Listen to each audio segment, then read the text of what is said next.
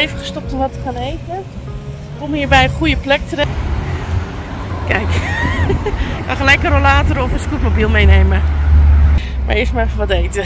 Kijk hoe ver we komen.